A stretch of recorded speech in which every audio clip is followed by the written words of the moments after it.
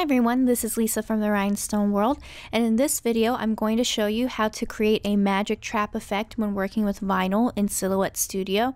Magic trap is something that you would like to do if you have two colors of vinyl that are going right next to each other.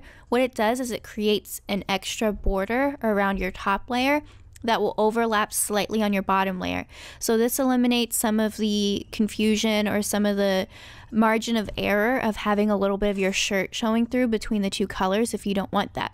So right here I have my design set up. I have a knockout design with a bow and I need to make a magic trap around the bow.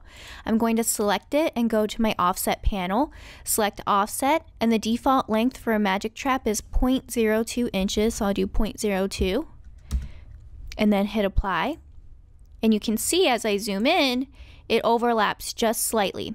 So my offset is still selected right now. I'm gonna go ahead and fill it in and I'll do a different color so you can see the difference and then group it together.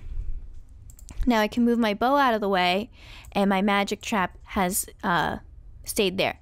And so you can see it's slightly larger than my original. So when I go to cut this and press this, I'll have my top color overlapping just a little bit on my design and it'll give me a little bit more grace when pressing it. So if you have any questions, you can email us at info at therhinestoneworld.com.